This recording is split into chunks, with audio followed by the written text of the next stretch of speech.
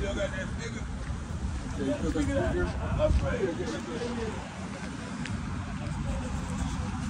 I'm currently on my way to my friend's apartment, and it's just absolute fentanyl apocalypse out here.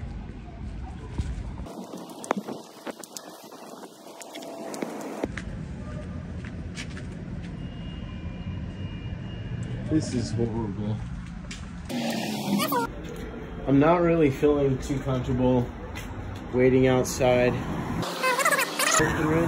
Hey bro, can you come outside, man? I'm not, it's pretty crazy out here. Um, appreciate that. What is going on?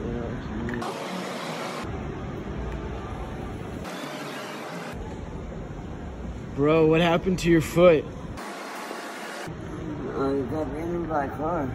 You got ran over by a car? Yeah. Neosporin or anything? No. You don't need Neosporin? No. Rubbing alcohol?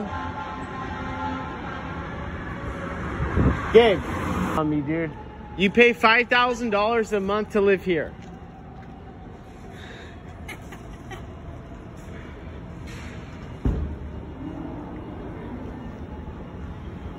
All right, brother, I'm gonna come back and check.